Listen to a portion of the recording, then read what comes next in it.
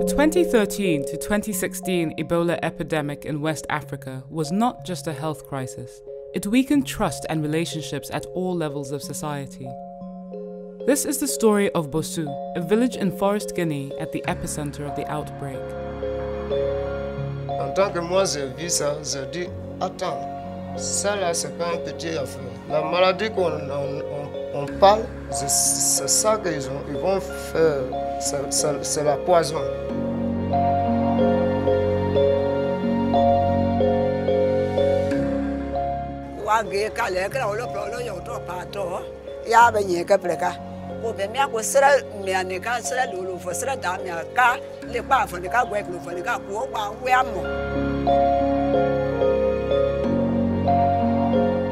Gens ne comprenaient pas que la- l'Ebola est une maladie.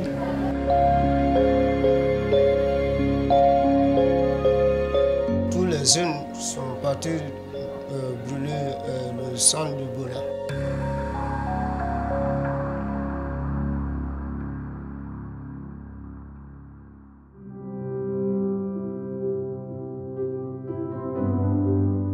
Les rumeurs, c'était un peu terre à terre que Alpha Condé, le président de la Guinée, avait besoin de cette flux de sang. Donc pour ça, il fallait tuer massivement des gens pour pouvoir recueillir le sang. Si c'est en train de venir encore au niveau de dans notre quartier, il faut que tout le monde se lève.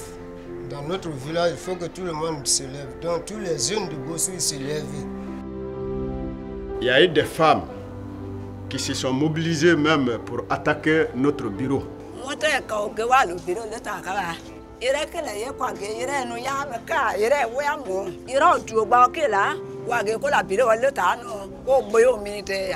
Si un responsable pouvait importer une maladie dans sa communauté, lui-même, sa propre famille, moi j'ai ma famille, j'ai mes enfants, donc euh, moi-même, en amenant des maladies pour ma communauté, c'est contre moi-même.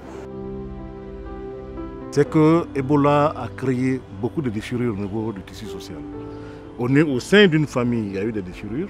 Papa et maman ne se parlaient pas, fils et père ne se parlaient pas. Au sein d'une communauté, telle composante sociale et telle on ne se parlait pas. Au sein même de la nation, le gouvernement n'avait pas de crédit. Donc il a fallu le, concours sérieux, rigoureux, alors de la plateforme préfectorale de Zérékoré pour que l'on puisse vraiment renouer le tissu social, pour apaiser la tension. During and in the aftermath of the Ebola epidemic, a group of local peace builders called the District Platform for Dialogue worked in Bosu to mediate these tensions and rebuild trust between the population and local authorities. Euh, Quand on a créé la DPD, c'était dans le but de la résolution, de la médiation entre les, les- les communautés, mais surtout de la résolution des conflits qui pouvaient naître au sein des communautés. Le fait que les gens aient confiance au DBD, c'est parce que d'abord nous sommes euh, de la même communauté. Peut-être euh, quand on parle de, la langue, nous parlons les mêmes langues. Des membres de la communauté alors, qui vont aller suivre des formations auprès de cette pla- plateforme, qui reviennent sensibiliser la communauté, travailler avec la communauté. Donc euh, ce ne sont pas des éléments hors de la communauté.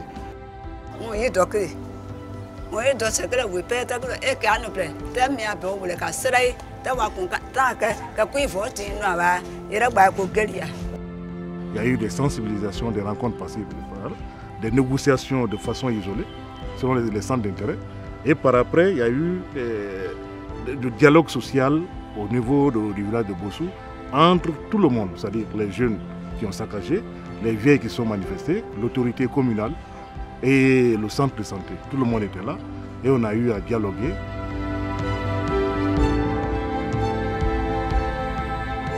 Ils ont dit que ce que vous avez fait, c'est pas bon. Restez tranquille. Vous n'avez qu'à vous n'avez qu'à inciser. À partir de ce jour, on voyait même les véhicules d'Ebola là, ils passaient partir par là, mais on ne touche pas quelqu'un. Euh, Ça a été vraiment un travail très appréciable. Très, très appréciable. On est très satisfait de, du travail de DPDS. On est très satisfait parce que n'eût cette plateforme aujourd'hui, alors les gens de Bossou ne seraient pas en train de se parler. On se parle aujourd'hui, les femmes, euh, tout le monde, euh, il y a l'harmonie, il y a l'harmonie vraiment dans cette communauté aujourd'hui. Donc, grâce à cette plateforme.